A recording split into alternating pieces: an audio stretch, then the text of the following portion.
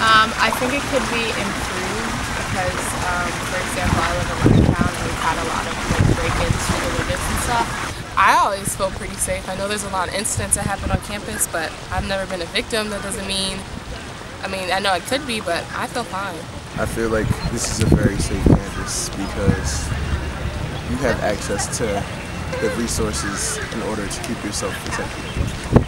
Um, I think that like campus tries its hardest, honestly, to keep us as safe as possible with like the blue lights and everything. And as a CA, um, we have to report anything like even slightly suspicious to like the police. So I feel like they're trying, but it's a little hard, being that it's like so open and like in this area type of thing. So. Uh, I think that it's a pretty safe school. I think it's safer than what a lot of people think about Maryland. I know a lot of times on the news, um, there's always like a lot of bad stuff that they put out, but I think you know it's as safe as a college campus is going to be. Um, I feel good about it. I live off campus, and so I live at the View, and I've never had any kind of bad experiences with that.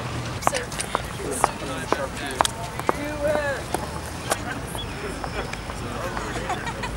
I'm happy that they found him. I'm, how easy is it to take your cell phone and put it under a bathroom stall? I mean, it could happen to anyone, and almost anyone can do it.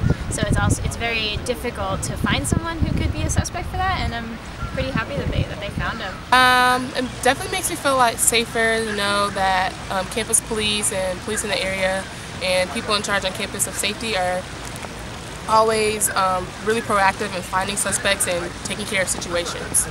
I mean, personally, I wasn't really affected, but I mean, I guess it's good because people won't have as much fear.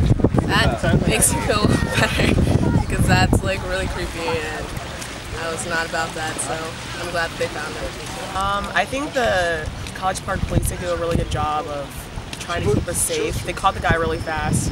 There's cameras everywhere, so I don't know why people want to commit crimes and yeah i mean that's good obviously but it did seem like it took like a week or two so I, I guess it's hard to find someone in a school of 30,000 um, I feel good. I feel like inevitably in every campus things happen.